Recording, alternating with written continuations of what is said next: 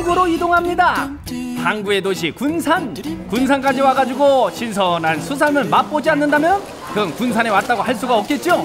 요즘은 꽃게가 제철이래요. 굉장히 싼거 같아요. 충청도에서는 맛볼 수 없는 만져볼 수도 없는 가격이죠. 네, 맞아요. 너무 좋아 너무 좋아 너무 좋아 보기에도 속이 꽉 차 보이네요. 지금 100kg를 한 시간 만에 다 판 거예요. 예, 예. 한 시간 만에. 가격도 가격이지만 크고 속이 꽉 차 보이는 랍스터까지. 오늘 저희가 납품해서 와, 집게 한쪽으로 얼굴이 다 가려지네요. 네, 꼭지찜이요. 구입한 해산물은 3,000원이면 즉석에서 찜통에 삶아주는데요. 찜통에 삶아진 고개는 이렇게 가위로 한 번만 갈라주면 먹을 준비 끝! 요즘엔 특히 꽃게나 대게를 구입하는 손님이 많다고 합니다.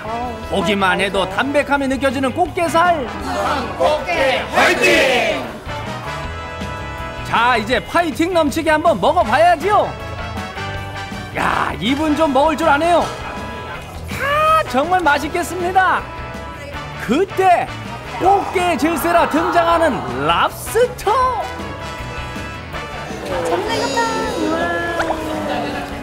역시 크기만큼이나 속도 꽉 찼는데요.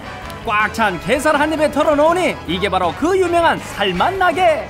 저 여기 오니까 전체 분위기도 좋고 저 바다도 구경해 가면서 그 좋은 벗들하고 좋은 사람들하고 마시니까 정말 어? 세상 살만 납니다. KBS